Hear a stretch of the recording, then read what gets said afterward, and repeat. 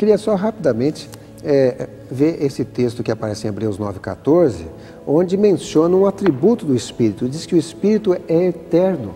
Então ele coloca mais um atributo da divindade do Espírito Santo aqui. Né? Aqui confirma a divindade do Espírito Santo, é, como ele estava junto com, com o Pai e junto com Jesus em todo esse plano da redenção. Então aqui mostra que quando Jesus se ofereceu é, na sua morte, o Espírito Santo estava com ele também na cruz. Também ali. Na cruz, na, na morte, na ressurreição, na vida.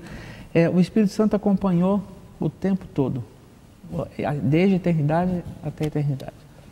E, coisa e o Espírito é eterno mesmo. Sim. Eu acho que vocês até já viram uma lição aqui, né?